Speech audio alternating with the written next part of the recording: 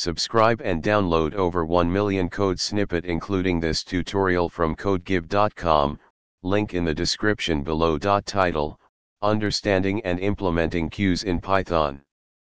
Introduction Queues are a fundamental data structure in computer science that follow the first in first out, FIFO, principle. Python provides a built-in module called queue that simplifies the implementation of queues. In this tutorial, we'll explore the basics of queues, understand the queue module in Python, and implement a simple example.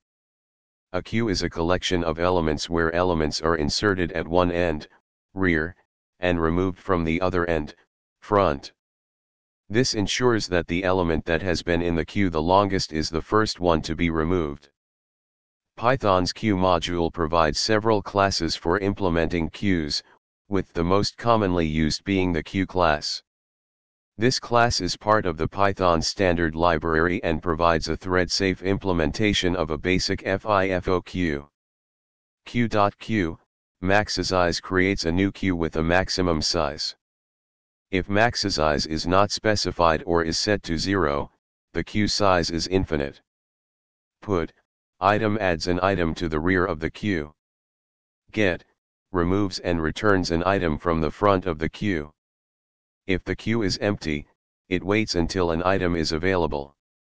Empty, returns true if the queue is empty, and false otherwise. Size, returns the size of the queue. Queues are essential for managing data in a sequential manner, and Python's queue module provides a convenient way to implement them. The queue class ensures thread safety, making it suitable for various applications. Use this tutorial as a starting point to incorporate queues into your Python projects for efficient data handling. ChatGPT